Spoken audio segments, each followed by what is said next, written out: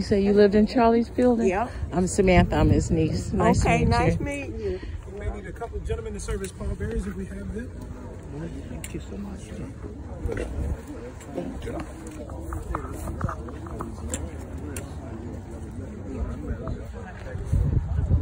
Hey, mama.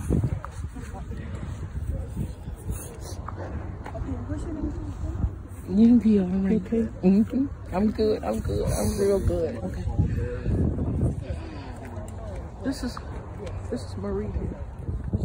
Hi, Marie. Hi, Marie. Nice to meet you. You from Charlie's building? Yes, yes. And another baby in the building. Oh, that's Bob. We'll get, we'll get Josh talking. Got a coat? Mm-hmm. It's kind of chilly. Oh.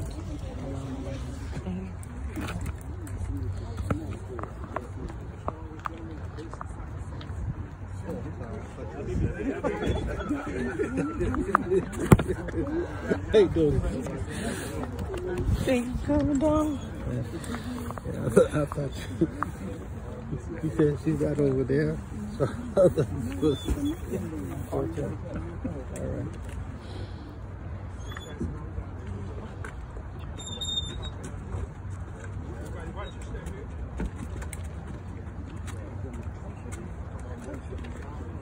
Come right here in the middle. It's all right. The ground is solid. Come right here in the middle.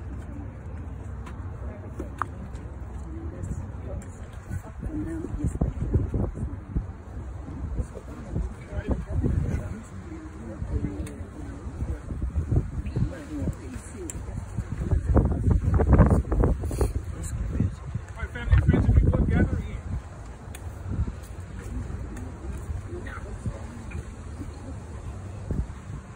Nearest relation up here to the front with me, those who have been making these arrangements, if you would step closest to me.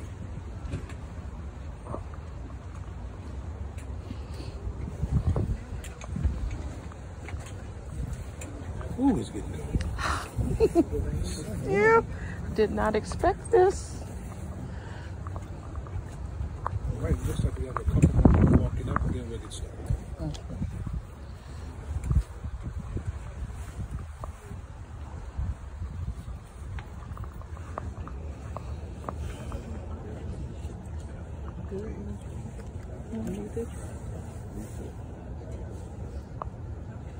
Lacey told me to give you his number. Oh, okay.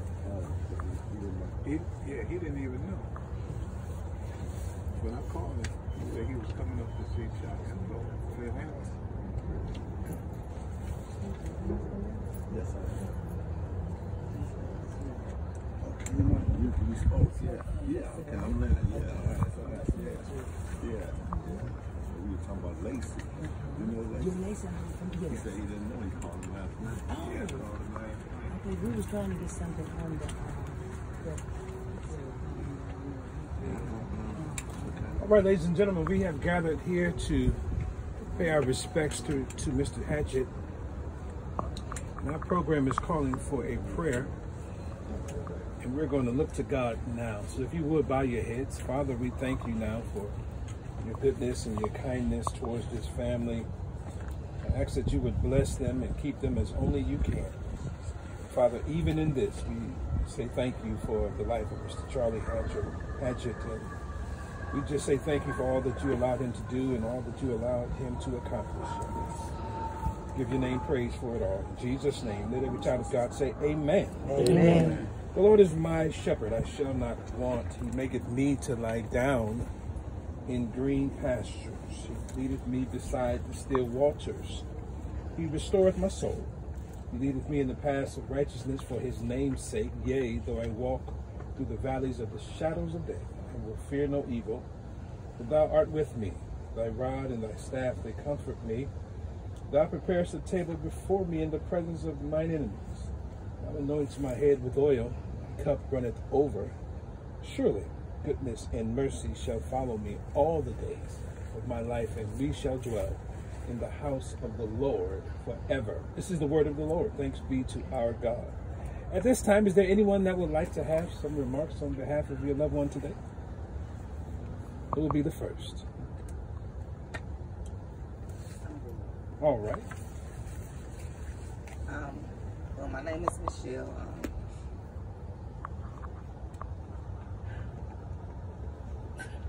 been knowing Charlie. Well, Charlie been knowing me since I knew myself. Um, he's been a good family friend for years. He's like a grandpa too. I'm gonna miss you, Charlie. Amen. Amen. I met Charlie a year ago about this time. I was introduced to Charlie by Shadina. And in his last day, when we came back from Alabama, it was always the same. His demeanor is beautiful. He always calls up and say, how you doing? I'm doing well. That's good. Even though he was sick and he knew he had his illness, he never he never talked about it. He just kept going forward.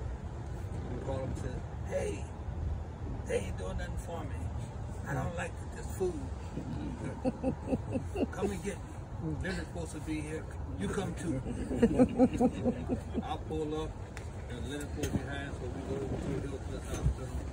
We go to get the diagnosis. And we take him to where he had to go in the hospital for x-rays, whatever. And we, I will come back and visit him uh, late at night, around 7, save him for an hour or an afternoon.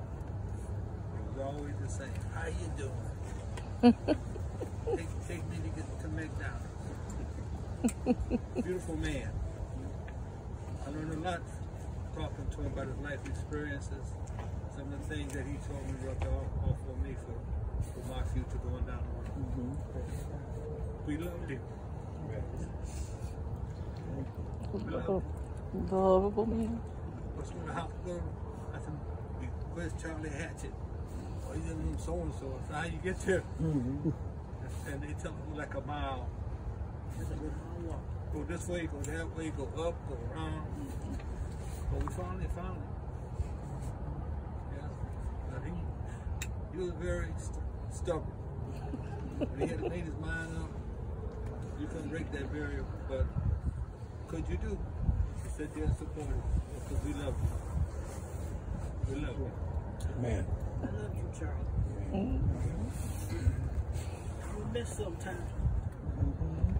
But we'll be all right the next day. Ain't nothing I wouldn't do for you.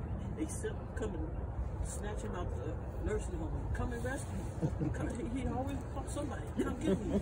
Come get me out of here. Just like you said, Don. He, he was looking for. Yeah, got my stove. But I love you, Charlie. I got my Amen. clothes nothing on. I wouldn't do for you. You would nowhere I wouldn't run for you. You want donuts, I go get donuts. You want cheesecake, I go get cheesecake. Knowing you weren't supposed to eat that stuff. So what? Eat it. it's hard. It's hard today. It's really hard. I'm done. I was outside the garage working when she called me. My whole spirit just struck me. I was letting us mess up with it.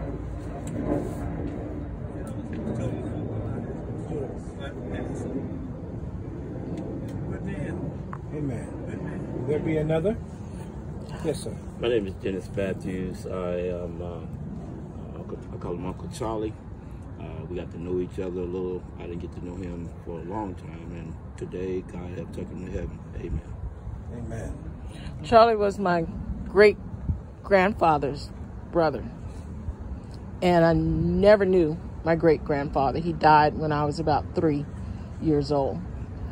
But Uncle Charlie was ever present in our lives. He looked out for all of his nieces, all of his sisters' kids, all of his brothers' kids.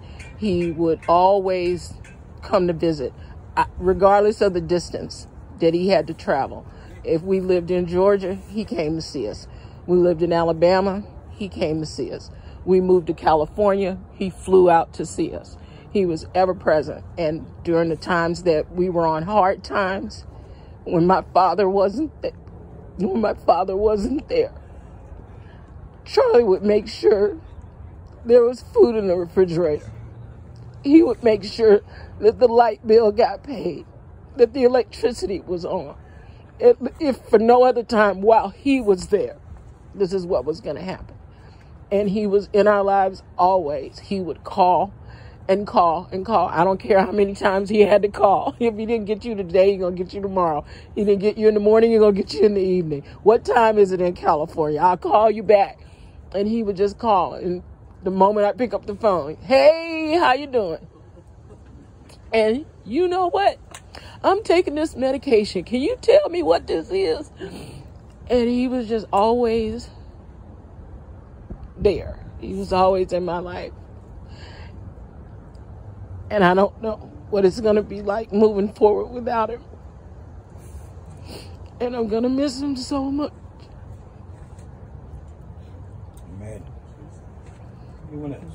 Yeah, I see all his family members from Alabama and different. Nice to see all y'all, meet all y'all.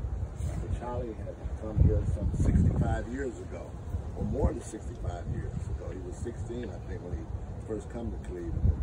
He uh, he was adopted by a lot of people here in Cleveland. I'm sitting next to Rick and my friend Rob, and we see uh, we call the Top Cat there. And uh, Charlie was like our little big brother because he was 10, 12 years older than all of us. But uh, he joined us and we, we joined him. Uh, and I'm not talking about every few months. It's almost like a daily ritual. Like y'all he called daily. He was part of our lives daily for over 65 years. Uh, I'm proud to see um, my kids here, my children here, and they say, Dad, we're going to be there. Charlie's like family, even though he wasn't blood relatives to any of us. And uh, you know, I look at my daughter over there, Lisa, she know I'm gonna tell it. You know, Charlie would always be a fixture at our house. So he would say, you, you know you my nigga. And I said, Charlie, you my nigga. You know, so then she was three or four years old and she looked out the window and Charlie was just pulling up, getting out the car. And we had some family in the house. She said, Daddy, here come your nigga. she, didn't, she didn't know what she was saying. she was going, everybody was just like, Charlie heard her through, it was summertime, right? He heard her say, oh, yeah, I'm your daddy. And so from that point on, just a few weeks ago, he was in the car with me and I took her by his house, her house, and she was on the job. She said, Dad, you know I'm coming out to the car to see Charlie. And she came out of her house and hugged Charlie and everything. So he was an intricate part of our family uh, in the neighborhood. Uh, Rob here, you know, he's worked for me, he's worked for Rob, he's associated with Rick very closely. And Top Cat just at your house a few weeks ago, you know, not, not two weeks ago. All this greens and crabs. Yeah, you cooked some, somebody cooked them dinner. You know? so, you know, Charlie was a fixture. I just want to say, I've been knowing him six, over 60 years, and I don't know nothing bad I can say about him. Nothing bad I can say about him. In our neighborhood, gambling, it wasn't bad. Gambling was part of our nature, you know. And he would say, a baby can win it, but a bear can't take it. How he dealt with money, you know. He said, don't be no bird nest on the ground. You know, and I've taught my children that that's what Charlie said.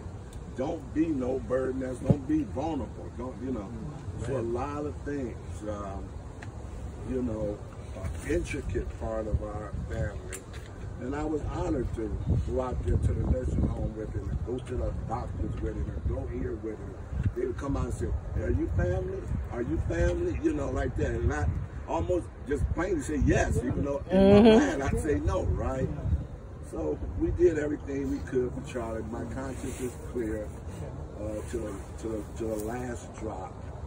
Uh, and, you know, I'm a firm believer that the time is going to come. You know, the scriptures say, uh, Jesus said, he'll call your name and you'll come out, right? You're, and uh, I look forward to seeing Charlie in the very, very uh, near future, um, you know, when this system ends. So I love you all, but I want you all to know that Charlie was well taken care of, man. Yes, he was. He was well taken care of here in Cleveland. Uh, as far as where he lived, where he ate. You know, one time I hired him to be a manager at one of my property, one of my businesses, and he called me like one o'clock that night. He said, I don't have, I don't look like no manager. I need some money to go get some clothes. Look managerial. and Rob know that. He worked around Rob's uh, restaurants and clubs for years. He's associated with Rick for years, and he wanted to look nice. So, Mhm. I know Top Cat got similar stories. Uh, um, we all come out the same neighborhood, so um, and some I see some here. They go Lolo and my brother. And they go my my son there. So all my children are here because this was Charlie. Mhm. And Ten o'clock ain't too early for them to get up to come and say goodbye to Charlie. You know. Amen. Thank you all. I appreciate you all for coming out here today and showing your love. And the question was just asked What is family? Family is not always blood, family is what makes you relatable. How can we love one another? And it was about maybe 2 o'clock this morning. I was thinking about coming out here today. And I really realized today when the old folk used to say, Love hurts. If you think about it, it's a beautiful thing when when something or someone that you love is taken from you, it hurts. It don't bother you if somebody leaves here that you really didn't like. It doesn't bother you if someone leaves here that you really don't care for.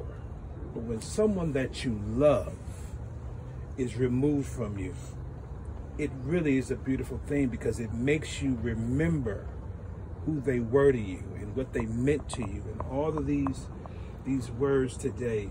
You all have eulogized him. You have spoken well of him. And so i leave you with this one thought today. God said today is your day of mourning and weeping. But very soon there's coming a day when nothing in this world will ever make any of you cry again I ask you all today to just trust God. Even in death, He promised to wipe away your tears. He said, Blessed are they that mourn, for you shall be comforted. How can you be comforted if you never cry? And so He gives us these unique opportunities to feel pain just so He can take it away. Let's bow our heads. Father, we thank you now for the life of this wonderful man. Thank you for all these friends that have gathered gathered to pay respect and homage to him. And now, Father, it's become our duty to give him back to you. And we just say thank you for his life. And we honor you and ask that you will be with these friends and family and protect them and provide for them as only you can. In Jesus' name, amen. Amen. Let's give him back to God together, ladies and gentlemen. And this is what we call the prayer of committal. So for as much as it had pleased the Almighty God in his wise providence to take out of this soul, out of this world, the soul of our deceased father and friend, earth to earth, ashes to ashes, and dust to dust. Father, we give him back to you for safekeeping. We ask that you would take care of him from here. We praise you for it. In Jesus' name. Amen. If any of you would like to come and choose a flower in his remembrance, you can do so at this time. Yes, sir. And his final resting place would be right over here, right where you see that truck. Right? Some extras. I think a few people want some. Okay. Right. Thank you. Mm-hmm. Thank you. Sure. Excuse me. You just need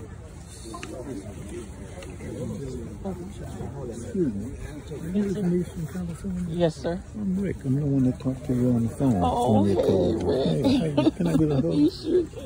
How you doing? Good to see you. That was my man. Oh, he was too. I know it. He was mine too. I used to talk about you all the time. I'm glad I got a chance to see you and to meet you. Oh, Yeah, because that was my man. Yeah, he was. I, I think uh, there's a lot of family that was a little intimidated by Charlie, but there's a lot of people that just didn't know what a sense of humor he has, how funny he was, and how how interested he was in your life. Because he would call me and he would listen, you know, to what was going on with us, and he was just um, he was not just my great uncle; he was a friend, Yeah. and it was generations between us. And people would ask, you know, "How did y'all get so close?" I said, "Because Uncle Charlie calls." He calls, Yeah, he and would then tell me every time he'd go to California. He was in Riverside one time. Mm-hmm, I'm going to see my niece. I'm going to see my nephew. I brought him out for the holidays. I need to let everybody know. Can you spread the word for us to meet over at B&M B&M, Barbecue? yeah. Because I have a, a brunch over there um, Okay. arranged for everybody. Hey, they want- Hopefully she's going to put the word out. No, I'm Adrian. Adrian, Friend of Shadina's. So one year she wanted to give him a party. I remember So- that. My sister and I, we cooked all this food because he wanted some greens. I He wanted some remember. sweet potatoes. He wanted some black eyed peas. I mean, we did a big thing. so he was so excited. So the following year we did it again. This mm-hmm. time it was inside, and he had more of the apartment folks there. Mm-hmm. We had the music going. I said, "Come on, Charlie, we gonna dance." Oh, no, you didn't. Oh man, he was jumping. I was bumping it on him and all that. But he had such a good time. Oh, So I every once in a while remember when. I cooked, I always gave the food to Spank, and she would take it to him. Now, So, is that the party where he had the money pinned to him? Mm-hmm. You need to did co- it you need to come to the brunch because we got that photo Yeah. with him and that money yeah, to him. yeah, because Rob was there.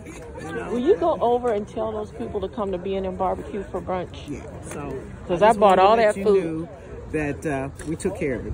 Oh, We well, I first. kn- I knew because Always. Shardina kept me kept me up to speed. We went to Jane Avenue together. Oh, friends forever and ever. look at you! What is that? Look at that face. My purse. Look at that! I missed that.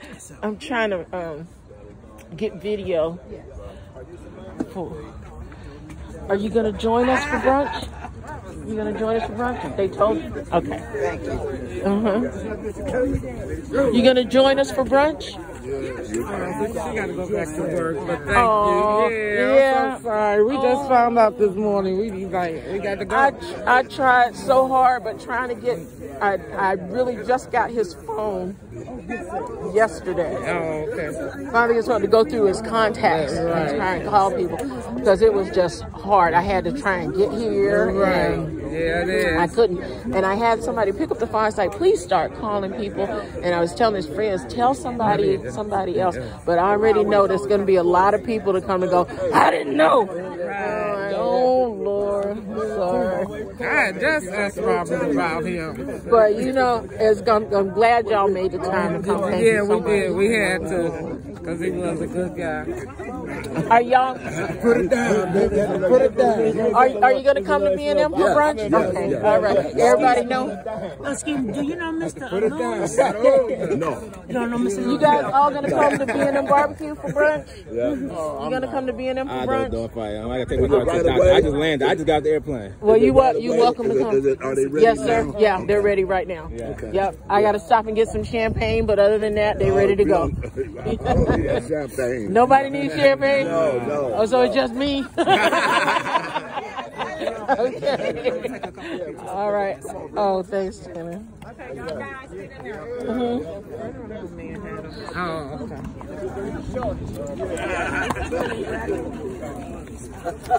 Yeah, take a picture. Y'all two standing next to each other.